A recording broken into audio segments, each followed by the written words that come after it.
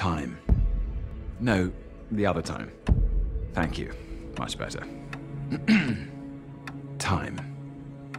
For some, time is a wheel, an infinite repetition of what came before and what is yet to come, looping endlessly over and over. For others, time is an arrow, pressing faithfully forward. We began Loki on February the 10th, 2020, at 8 o'clock in the morning, and wrapped production 299 days later.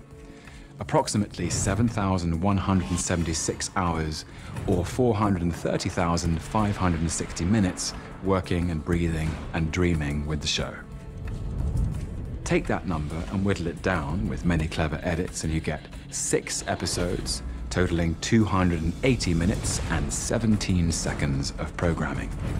Now, whittle the experience down even further, and you get this one hour, give and take, documentary. A comparatively brief time capsule. A remembrance of things past. Given the constraints, we shouldn't waste a single second.